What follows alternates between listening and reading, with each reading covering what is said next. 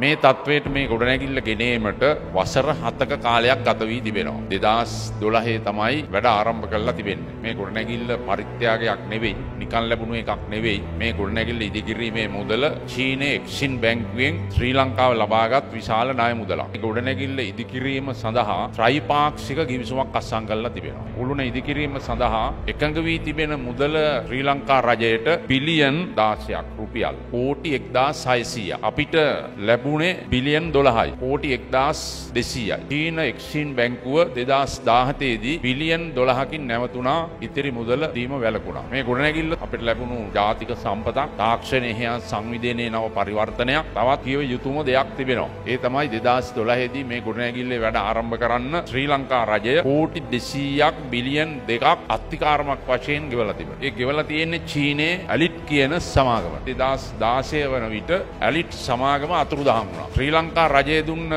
Billion දෙකක මුදල කෝටි 200ක් ආගිය අතක් නැතුව ගියා දායකම කැමතුමා hina වෙනවා ඒ ගැන කියපුවාම මේ ගැන අපි දැනගත්තර පස්සේ මේ ගැන අපි පරීක්ෂණයක් ආරම්භ කළා. චීනයේ ශ්‍රී ලංකා තානාපති කරුණාසේන කොඩිතුවක් මහත්මයාට මම පුද්ගලිකවම දැනුම් දුන්නා වගේම අපි නිල වශයෙන්ුත් දැනුම් දුන්නා මේ ඇලිට් කියන සමාගම අපිට හොයලා දෙන්නයි කියලා. ලිපින එහෙම තිබුණාට එහෙම සමාගමක් තියෙන තැනක් නැහැ චීනෙත්. බේජිං වල. අත්තිකාරමට වෙච්ච දෙයක්වත් නැහැ, බිලියන් දෙකක් නැහැ, සමාගමක් නැහැ. ඒ තත්ත්වයේ උඩ තමයි එක්සිම් බැංකුව චීනයේ බිලියන් 16ක ණය මුදලින් 12කින් නැවතුනේ. ඊට පස්සේ අපිට සිදු වුණා ශ්‍රී ලංකා රජයේ සල්ලි වලින් මේ රටේ ජනතාවගේ සල්ලි වලින් මේ කුළුණ හදන්න. මේ මුළු කුළුණම මේ රටේ ජනතාවගේ සල්ලි තමයි. බිලියන් 12 ලැබිච්ච 12ක් ණය.